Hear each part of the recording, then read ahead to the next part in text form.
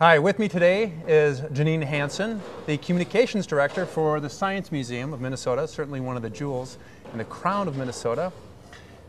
Janine, thanks for coming. Thank you. Um, the Science Museum was founded about just over 100 years ago, and it certainly uh, enjoyed tremendous growth.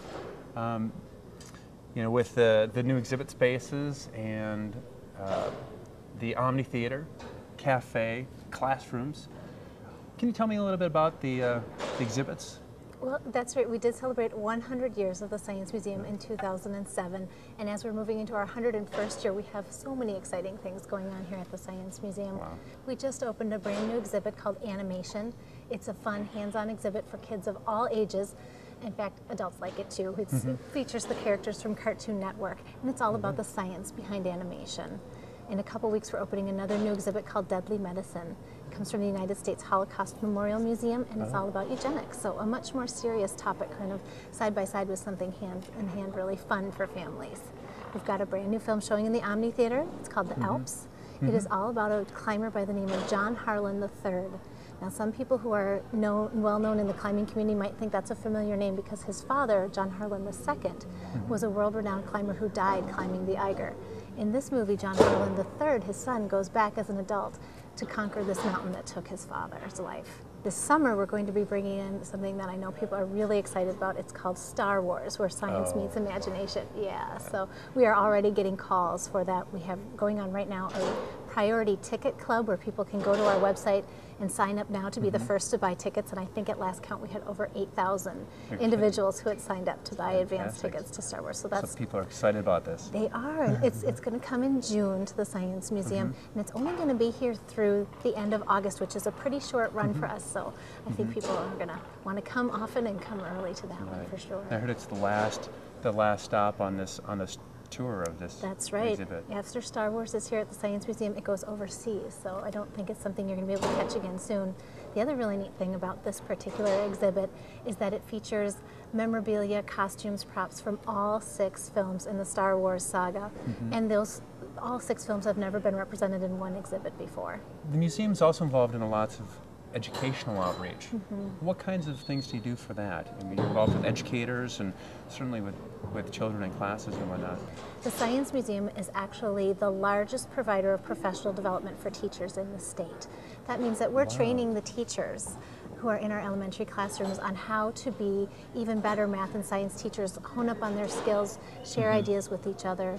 In addition, we welcome hundreds of thousands of school kids from mm -hmm. across the state to the Science Museum for field trips every year, mm -hmm. and we go to them. In outstate mm-hmm. Minnesota, we have a traveling program where we will send Science Museum teachers out into the community in a van with lessons that they can bring to classrooms all across the state.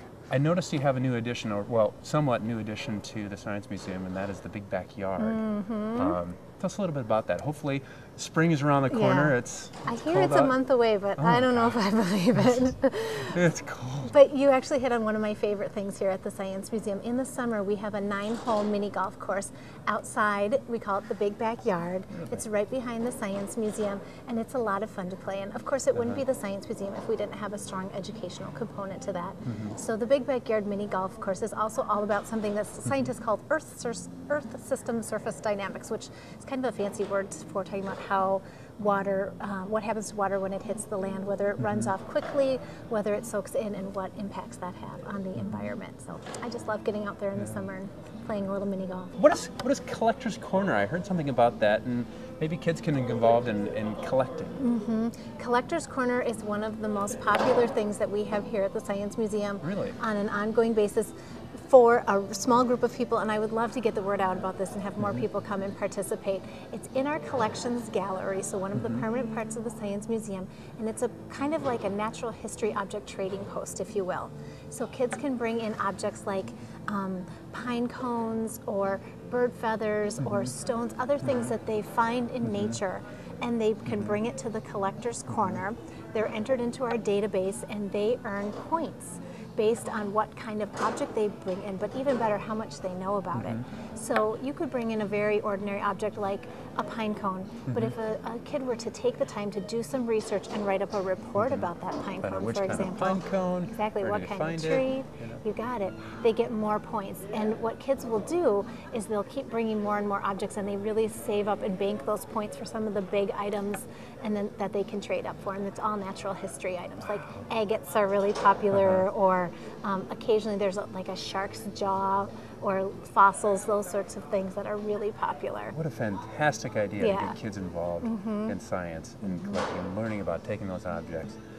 I noticed your website is full of lots of interesting information, Mm-hmm. and I was surprised by the amount of activities for kids. Mm-hmm. Um, what's the website address, by the way? It's www.smm.org. It's SMM for Science Museum Minnesota. Exactly. smm.org. Two M's in a row.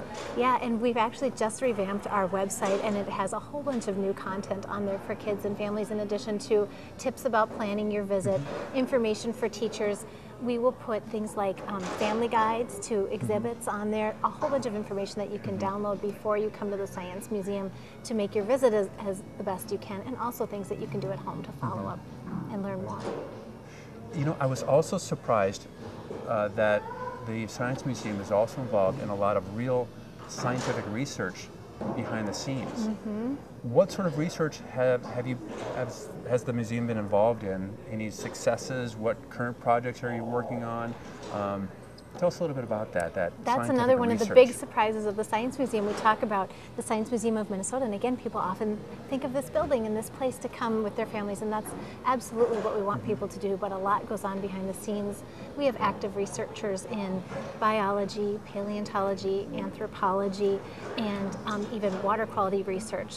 Some of the most exciting projects our, our, our scientists are working on right now are in paleontology. We have a lot of interesting research happening in that area about um, things like growth rates of dinosaurs, something that uh, scientists call histology. So, looking at bone chips under microscopes and learning things about not just what kinds of dinosaurs existed way back when, but how they lived. And that's kind of the new frontier of paleontology. We also have scientists doing mercury research. And as you know, mercury is a huge environmental problem. And our scientists are looking at things like that they call sediment core samples, where they actually go down into the earth and look at the layers of the dirt to determine what kind of pollutants were in our environment at different times, and then help make predictions about what might happen in the future based upon that research. Fantastic. Thank you very much. Janine Hanson, thank you very much.